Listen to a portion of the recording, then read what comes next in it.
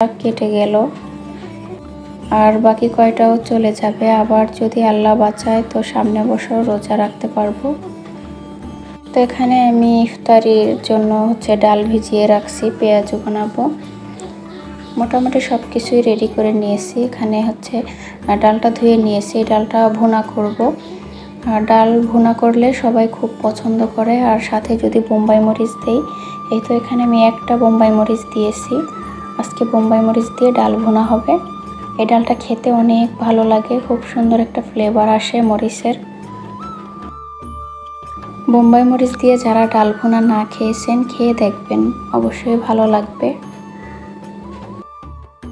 আর এখানে দেখতে পাচ্ছেন আমি হচ্ছে মশলাদানি কিন্তু চেঞ্জ করেছি।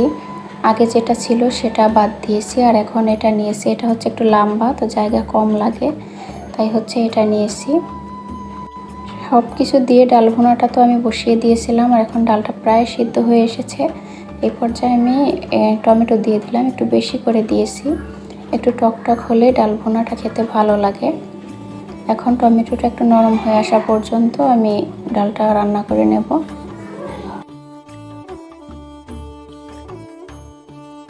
আর এদিকে বাঁধাকপি কেটে নিয়েছি, বাঁধাকপি ভাজি বানাবো।